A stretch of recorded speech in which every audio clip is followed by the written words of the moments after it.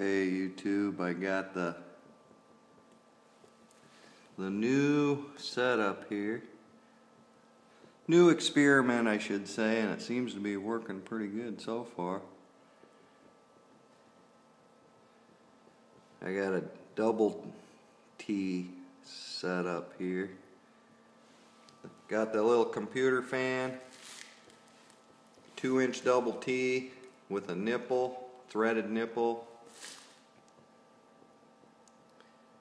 I got a union,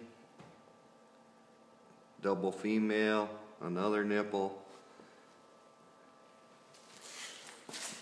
And I got the other T on top of that.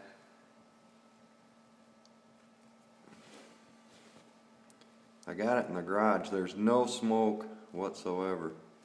I got the garage closed. I'm going to open it up here in a little bit, but I just wanted to see. I have uh,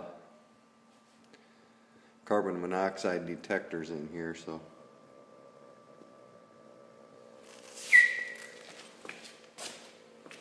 Going. It's. I'm using the wood pellets, and it's working great.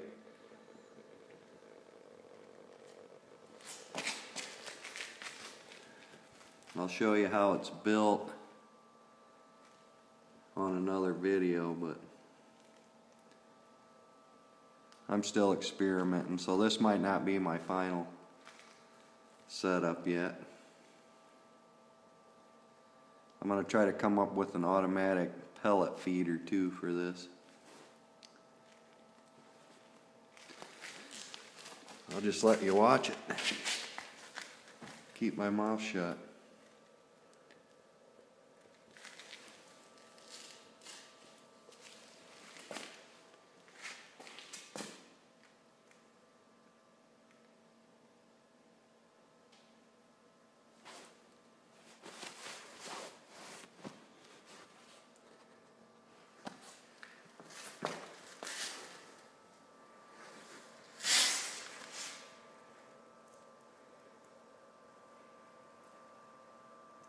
I got it full of pellets from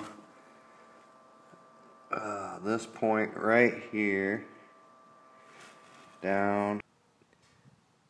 I got about six inches by two inch diameter of pellets.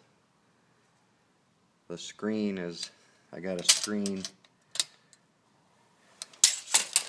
at about this level right here and then the air flows in through this very small computer fan with not hardly any pressure at all.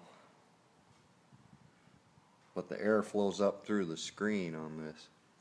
It went for about 15 minutes and burned out. I'm going to let it cool off and see how see what it looks like, see if all the pellets burnt. I don't think they did. I did it another way and they all burnt down to nothing, but we'll see what happens with this one. Thanks, YouTube.